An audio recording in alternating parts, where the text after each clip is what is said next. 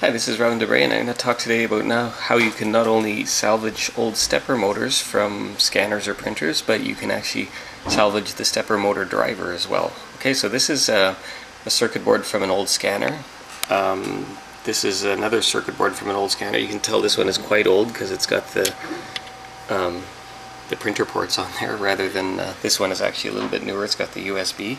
Okay, and over here we have a Papilio, which we're using to um, send the four signals into the stepper motor and then here we have the stepper motor which I added some tape to so you can actually see it turn without going cross-eyed. Okay, so um, as you can see this has a, a, nice switch on it, this one. It's got a 5 volt regulator up here and it's got a 12 volt regulator down here. Um, that goes into, there's memory here that it, uh, that was used to um, store the signal as it came in, I guess. There was the, the main chip right here, and I removed that so it wouldn't potentially interfere with signals. Um, and then over here we have a Darlington array, uh, and then this was the port going out to the actual stepper motor. Now, anytime you're reversing these, the, the thing with stepper motors is they take um, your your microchip here will will send 5 or 3.3 volt signals or whatever and the stepper motor usually requires something like you know 9 or 12 or 24 volts even to run it. So um, you do not want to have 24 volts come into your microchip because uh, that smells funny. Uh, so what they do is they use a thing called a Darlington array usually not always but um, that's basically just a, um, a double transistor thing it protects the, the chip and it um, you send electricity into it and then when the chip fires this at 3.3 or 5 volts, this will, in a separate circuit almost, um, send higher voltages like 12 volts into the stepper motor and it protects you um, going backwards. This is a ULN 2003 which is um, a fairly common one to use nowadays. Um, this one over here is similar setup but um, it actually uses uh, a Toshiba uh, Darlington array. If you're not sure what these are, and usually you won't be, um, what you do is you just find the number on here and go to uh, datasheetcatalog.com and uh, type that in and that's a real good resource for figuring out um, what these chips actually do. And you can type any of these chips in. They have basically everyone in the world in there. It's great.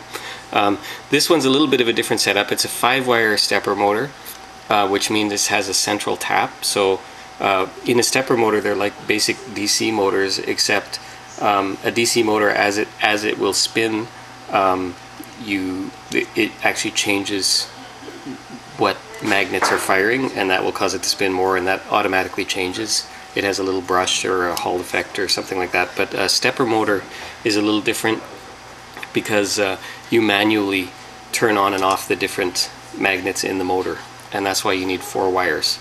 Um, so four, or at least four wires. So a four wire stepper motor will turn one set uh, forward and then the next set you know forward then the first set backwards and then the second set backwards or something like that. And and it causes the motor to turn a five wire one does the same kind of thing but all the electricity comes or goes back through uh, a, a, center tap. Sometimes they have two center ones so um, you don't have to have a, a reverse current. You can just do forward forward but it comes it comes to the same thing essentially Okay, so these are five wire stepper motors, and those are easy to tell because they have five wires on them.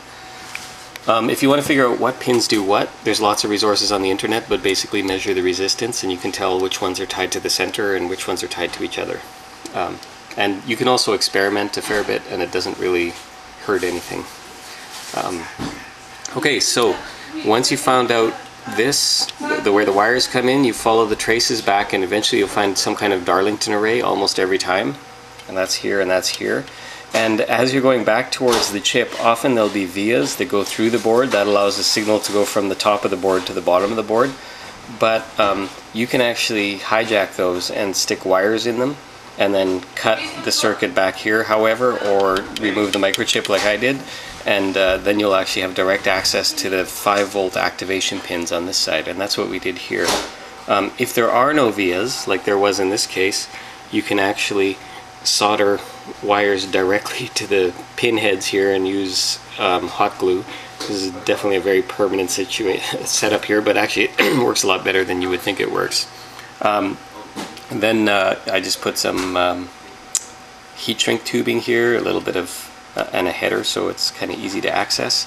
Uh, th- one of the things these vias are very small, so what you can do is you can take those little wee ceramic capacitors and stick them through through the bottom, and then push them all the way up. And that's what these kind of legs are here. Is their ca- capacitors come from the bottom, and then of course you solder that in and cut off the capacitor heads and throw those away. Um, the reason you want to probably do that is because those are actually thin enough to use and they're fairly strong wire. Unless you have such wire, that obviously use that. Um, okay, so um, we'll do a little demo here.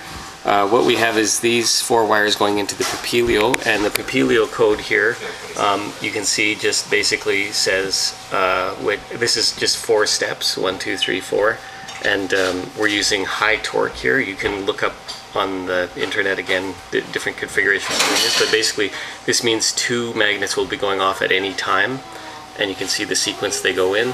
Um, and uh, sometimes these these are positive triggered and sometimes negative triggered so you, you want to watch for that but when you're doing high torque with four wires it actually doesn't matter obviously. Just that'll change the direction it goes. Okay um, so we'll we have this one not plugged in yet here so I will plug this in and as you can see the motor is turning here. Okay, and one of the problems on the Papilio is that it's super fast, so you actually want a real large delay in there, surprisingly large. I don't know if fast is a problem, but it's one of the things about the Papilio that always surprises me. Okay, so that's running off this one, and you can see the power's coming in, and again we get a free power supply, 5 volt uh, regulator. Um, there's actually a, a LM257 there, I think that's regulating the volt, uh, the current. Um, and this one's a little different. It drains through this really high, big resistor here. Um, there's different ways of doing it, obviously, and this is one of them. So what we're going to do now, we're going to unplug this, and we're going to plug that into this one. Hopefully this works while I'm holding a camera. And we're going to unplug all of these, and we're going to remember that's brown, blue, red, green. All right, red, green, bad sign. Okay, we're going to come back here. And again, this doesn't really matter the order as long as it stays the same.